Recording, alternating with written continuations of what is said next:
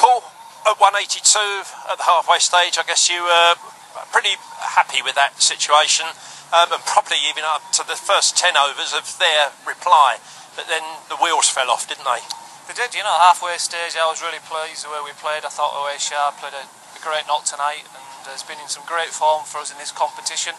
Unfortunately, he's pulled a hamstring tonight as well, so it looks like he's going to be out for three or four weeks now. So that's a real blow to us. Um, but you know, the thing that's killed us tonight is uh, the amount of wides we bowled. You know, extras 33 in a 2020 game. You just can't afford to do that. And the extra balls of the wides cost us 19 runs as well.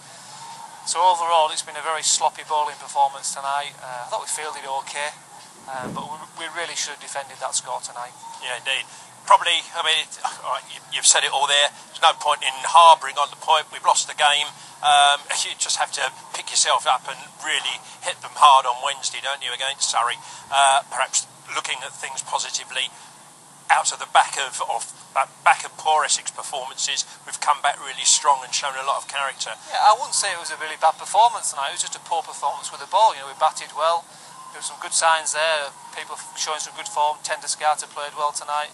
Napier struck the ball well. Fozzie was quick between the wickets the way he scored his runs tonight as well. So, know, overall, it, it, it was a it was a ball that's let us down tonight. Um, and we're going to have to bounce back on Wednesday night. You know, we don't do things easy as a group. And we're going to have to show lots of character and lots of skill on Wednesday night to beat Surrey because they're in a bit of form. You know, they've won their last couple of games.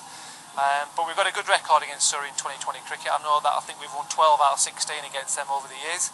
And we're going to have to play well on Wednesday night. Yeah, indeed. Paul, we wish you well on Wednesday night. Thank you for talking to us.